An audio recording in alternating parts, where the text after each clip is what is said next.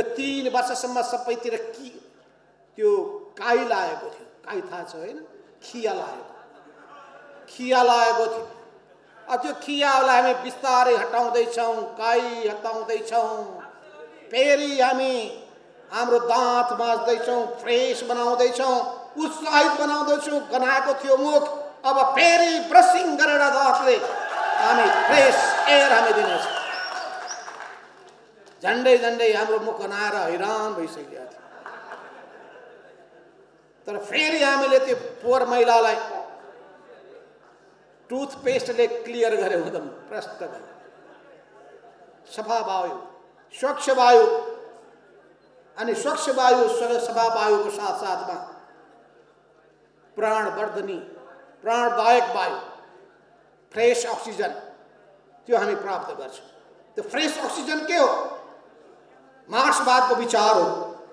जसरी शरीरमा अक्सिजन चाहिन्छ त्यस्तै पनि सङ्गठनमा विचार चाहिन्छ।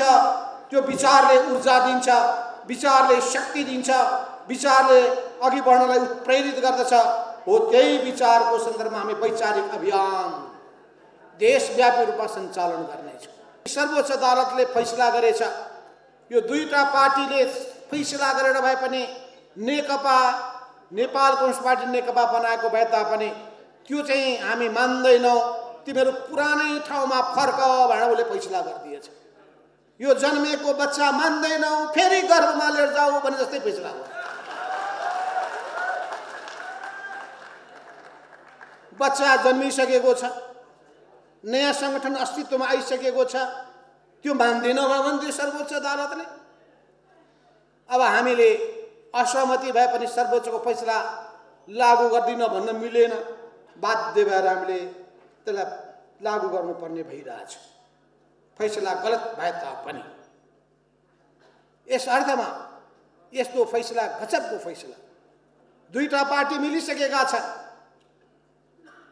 दुईवटा पार्टी मिलिसकेको निम्ति निर्वाचन आयोगले हामीलाई दिइसकेको छ वैधानिक मान्यता दिइसकेको छ। नेपाल राजपत्रमा प्रकाशित भइसकेको छ। दुई वर्षसम्म त्यो सङ्गठनले दुई पार्टी नयाँ पार्टीले काम गरिरहेको छ। त्यो पार्टीको नाउँमा चुनाव लडिएको छ। दुई सय ठाउँमा विभिन्न तहहरूमा उपनिर्वाचन भएका छन् जितेर आएका छन् जनप्रतिनिधिहरू। अनि सर्वोच्चले भन्छ फैसला के गर्छ भन्दाखेरि त्यो पार्टीको एकता रद्द भयो भन्छ। विचित्रको फैसला। नाम मिलेन नाम जुधियो भन्न सकिन्थ्यो। नाम फेरेर आउनुहोस्। कहिलेकाहीँ त्यस्तो हुन्छ। किन भन्दाखेरि एउटै दाजुभाइहरू एउटै परिवारमा एउटा नाम जुरायो नबाट एउटा नाम न नकुल राखिदियो अर्को नकुल राखिदियो नकुल नराख न नबाट अर्को राख नकुल राख्ला अर्कोले चाहिँ अर्कै नाम राखिदियो। नाम फेर्न पो भन्ने हो। एकताको कुरै मान्दैनौँ भन्थ्यो त्यस हुनाले त्यो आफैमा हामी त्यस बारेमा बहस छलफल गर्दै गरौँ तर हामी निर्णय मान्न बाध्य छौँ। हामी निर्णय मान्यौँ र अब हामीले भनेका छौँ कि अब पूर्व एमाले फेरि बिउती पूर्व एमाले बिउतिनुको अर्थ के हो भने त्यो पूर्व एमालेमा केपी ओली पनि आउनु पर्यो केपी त्यही पूर्व एमालेमा हामी पनि त्यही ठाउँमा पुग्नु पर्यो। केपी ओलीमा जाने होइन। यो कुरा प्रश्न हुनु पूर्व एमाले बिउतिनु भनेको त्यो पुरानो सङ्गठन फेरि बिउताउने हो। आज पार्टीभित्र विवाद भइरहेको कुरा त्यही छ। कि पूर्व एमाले बिउतिसकेपछि कहिले कहाँ कुन मितिमा सुरु हुन्छ? आज पार्टीमा सबभन्दा ठुलो विवादको विषय त्यही छ। र केपी ओली त्यो कुरा मान्न तयार हुनुहुन्न पहिलो कुरा पूर्व एमालेको अन्तिम समयको जुन सङ्गठन छ संरचना छ पदाधिकारी छन् सदस्य छन्। त्यसलाई यथावत रूपमा कायम राख्नुपर्छ। त्यहाँबाट सुरु हुनुपर्छ। हामीले मेरो तेरो भनेका होइन।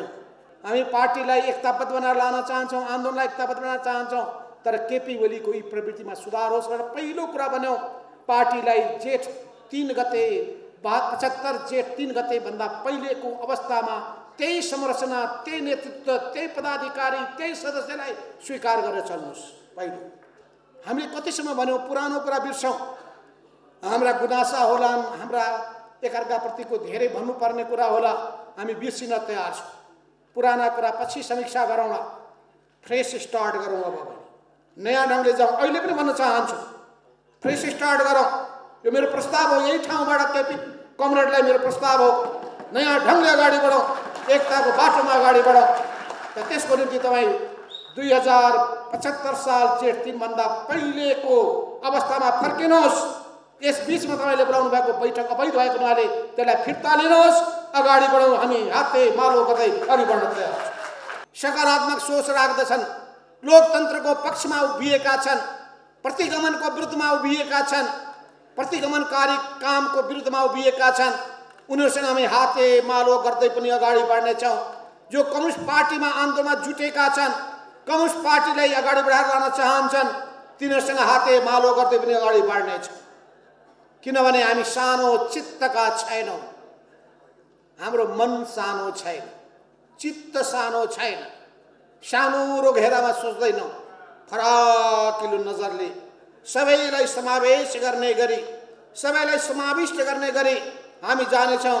त्यस हुनाले भर्खरै प्रवेश गर्नुभएका युवा साथीहरू यतिले चित्त नबुझाउनुहोस् अझै